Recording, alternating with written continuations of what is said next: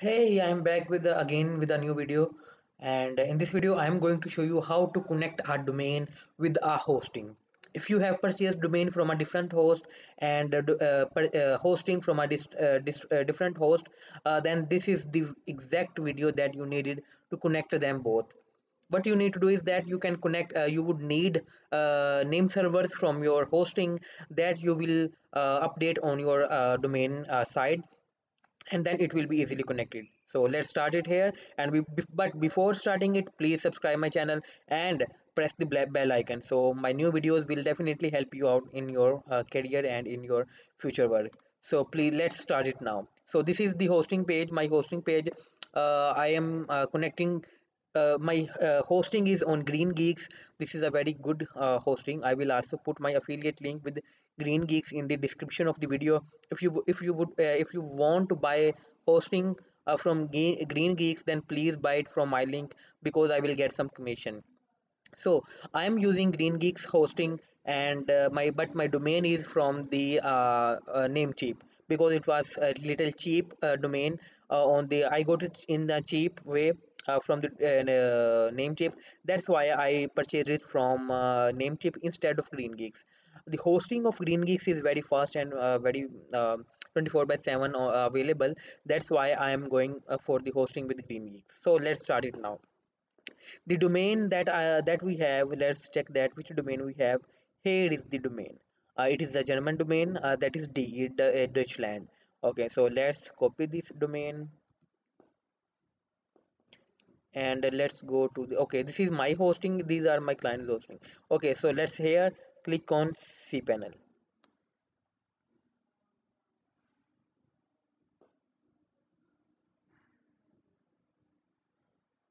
Okay, once you are here in the cPanel, you need to find the domain section. This is for emails, files, SEO of database domain. Here is the domain section. Here I will add a domain uh, that will be as add-on domain. Here I will write the name of the domain that is quickly by taiba.de. Let me try to add the HTTP as well.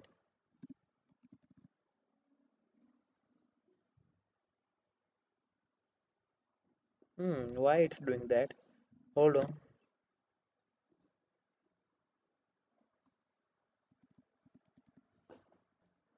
Okay now it's fixed. There was space uh, there was a space here.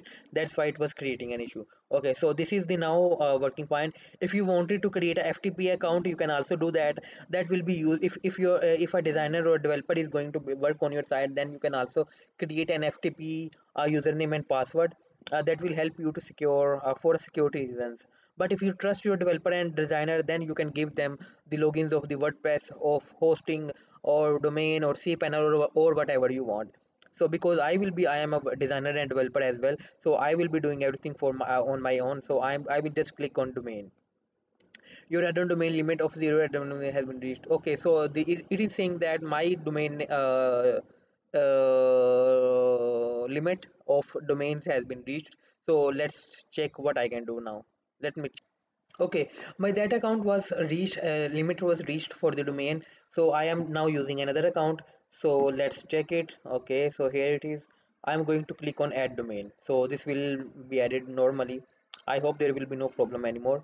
Uh, let's wait for that. Uh, and domain is that why it's not getting added. Let me click again. Uh, okay, it's reloading.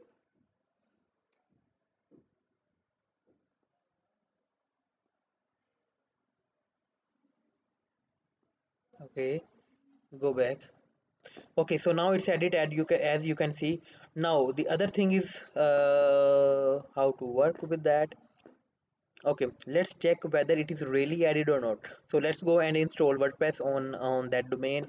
So let's click on install. Here i will get a new domain. That is cookly by Ta- taiba. You can see that. Here is this is the domain that we needed. And uh, always install al a one lower version than the latest one because latest version sometimes has some issues. So that's why i'm going to uh, uh, select it an older version of the wordpress. Let me add some admin and password for my site and then we will continue. Uh, let me pause the video okay i have selected and added the uh, login and password and email for my account user account. Here you can also select the other thing limit login attempt classic editor is a new uh, normal thing. Wp central is not needed.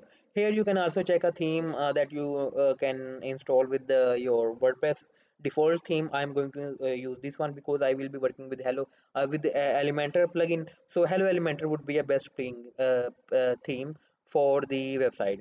So click on install and send instructions to this one. Mm, this one. Click on install. I hope this video will be helpful for you. Okay an installation already exists at the okay. So we need to change this one and uh, okay i have changed the logins uh, and now let's click on install. Let's see how it goes now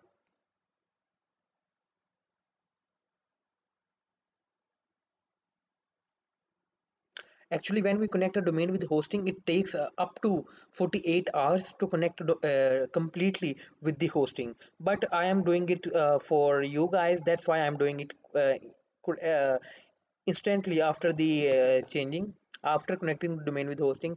Let's see if this works or not. No it's currently in in propagation so it will take some time. Once it is connected then we can easily easily connect easily uh, start and uh, I have already logins of the website so I can easily log into my website and can manage everything else. So that's all. Uh, this video I hope this video will be helpful for you. Please subscribe my channel as well. Uh, and if you need anywhere else you can write in comments and I will make a video for that as well. Thank you. Bye bye take